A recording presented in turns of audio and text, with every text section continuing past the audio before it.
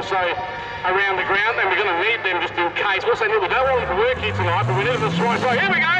The children, keep your eyes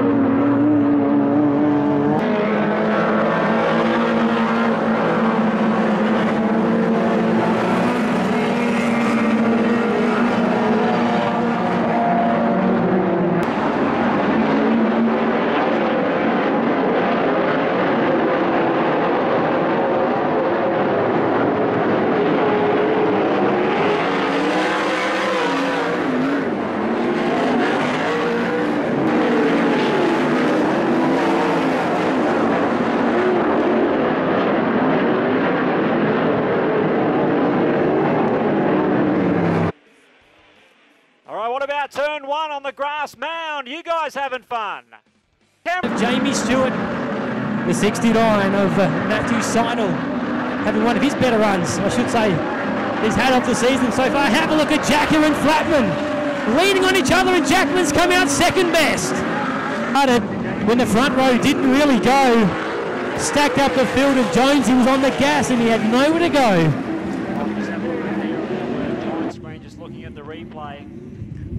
We'll have a look at it again. I think it all kind of started there. Quinny seemed to jump a little bit early, Phil. Let's watch it again. He's already gone. And as you said, they've stacked up there, stacks on the mill. Looks like uh, Tim's view from the roof. He got, uh, got a little tagged at the start there. Let's watch it again here.